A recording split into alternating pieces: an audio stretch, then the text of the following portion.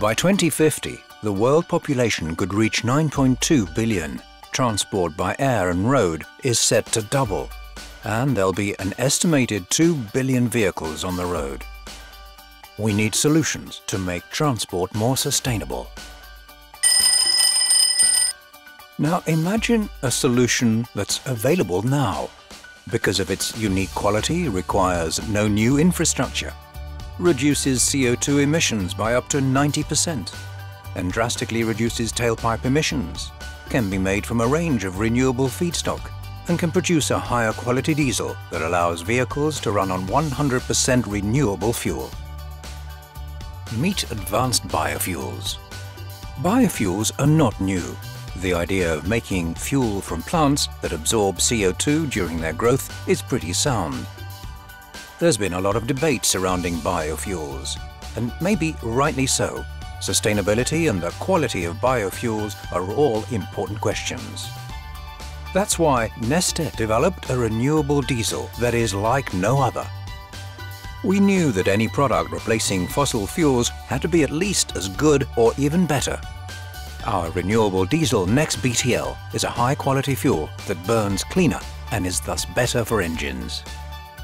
We also operate service stations and we were therefore very aware that the next renewable fuel had to be able to use existing infrastructure. NEXBTL is suitable for all diesel engines and can use existing tanks and pumps. And this is not a test or pilot project.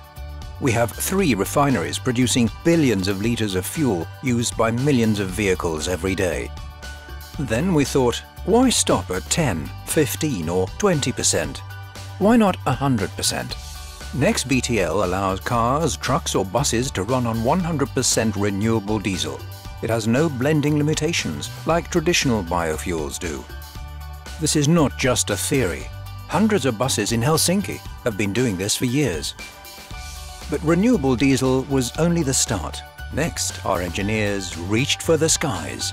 They came up with a way of making a renewable fuel for the aviation industry that meets all the requirements. And whilst they were at it, they also managed to produce a biopropane and bionaphtha used in bioplastics production. So we are taking the fossil out of fuel. But what do we use instead? From day one, we developed our renewable diesel so that it could be made from a wide range of renewable feedstock. We use vegetable oils, waste and residues today, and we're testing new materials such as algae or even straw for the future. We love waste, but hate to waste. Half of the feedstock we use today comes from waste and residues. That's the equivalent of keeping a million cars that run on 100% renewable diesel on the road for a year. Would you like to know more?